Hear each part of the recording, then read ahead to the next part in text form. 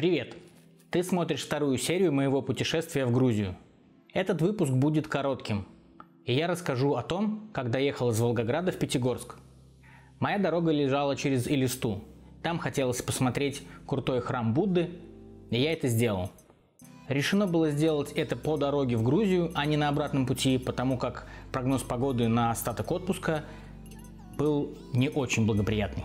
Также хотел в данном видео рассказать про Пятигорск, но все получилось немножко не так, как планировал. Скажу сразу про дорогу. Она на данном участке довольно-таки специфическая. Можно добраться в Пятигорск двумя путями. Через Буденновск и через Благодарный и Александровское. Я выбрал второй путь и не прогадал. Потом на форумах читал, какая дорога через Буденновск, и хорошо, что я там не поехал. И вам, собственно, не рекомендую. Езжайте через Благодарный, через Александровское, потом Минеральные воды, и вот вы уже в Пятигорске. Я даже не мог подумать, насколько крутые там дороги. Езжайте спокойно на своих машинах и не бойтесь их там убить. Ну а вообще погнали, посмотрим, что я там наснимал. В общей сложности дорога от Волгограда до Пятигорска получилась 623 километра. Это чуть меньше, чем в первый день, но тем не менее все равно достаточно напряжное такое количество километров, особенно учитывая, что от Элисты уже дальше к Пятигорску дорога не самая приятная. Мы в Элисте верблюда и коня и поедем дальше. Вообще Элиста – это столица Республики Калмыкия. И, к моему удивлению, я раньше этого совершенно не знал и как-то даже не думал об этом. Калмыки – это народ, исконной религией которого является буддизм. Для меня буддизм был каким-то таким далеким и уж совершенно точно не российским явлением, а оказывается в России буддизм исповедуют и не только в Калмыкии, но и в Бурятии и в других регионах. Мы приехали в крупнейший в Европе храм Будды. Вообще правильное название буддийского храма в Калмыкии – Хурул. Происходит от монгольского хуре, что обозначает круг.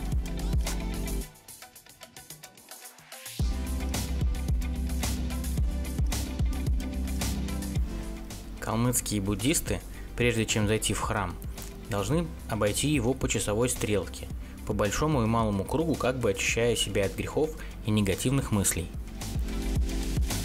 Еще на территории храма, а точнее Хурула, есть 17 бронзовых скульптур величайших ученых древнего буддийского университета Наланда.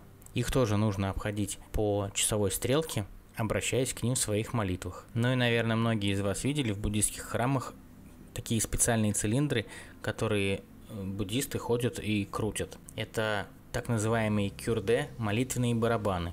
В них внутри находится очень много молитв, и считается, что вращая барабан – те самые молитвы, которые находятся в этом барабане, доходят до самого Будды.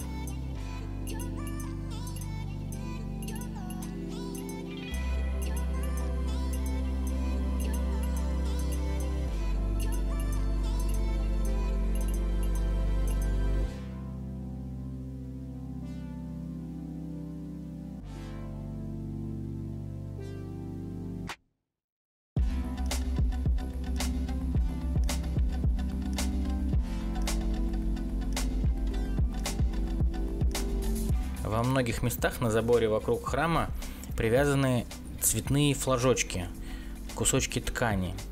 Оказалось, что это молитвы, так называемые кони ветра. Развиваясь на ветру, они как бы читаются и приносят этим пользу.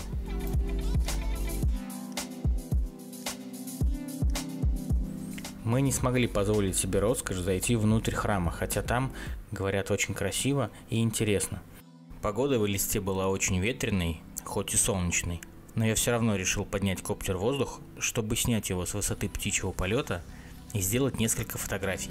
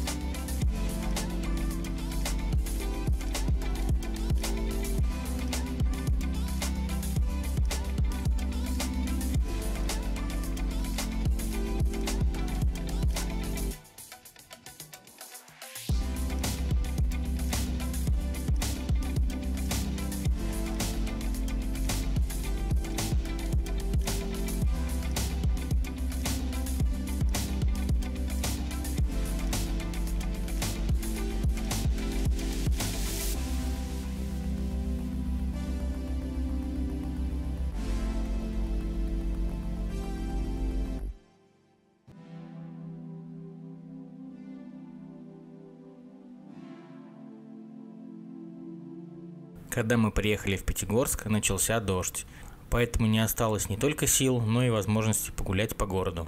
А утром нам уже надо будет уезжать дальше в Грузию. Итак, сегодня второй день, и мы приехали в Пятигорск. Завтра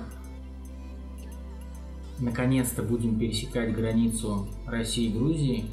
И вот там нас ждут, видимо, приключения, потому что сегодня были проблемы у людей с прохождением границы.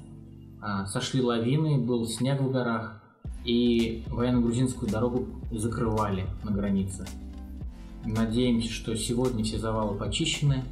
Вроде как во второй половине дня все там очереди рассосались, и люди смогли проехать в обе стороны. Завтра рано встаем и попытаемся пройти прямо с утра всю эту историю. Надеюсь, не простоим весь день, и нам получится там во второй половине дня нормально уже в Типансминде и дальше в Гудауре посмотреть то, что запланировали. На сегодня все. Пока. Остановились мы в хорошем таком отельчике Хаят. Находится он, конечно, не в центре Пятигорска, а немного отъехав от него, но тем не менее место расположения удобное и отель хороший. Ссылку на отель я оставлю в описании, может быть вам когда-нибудь пригодится.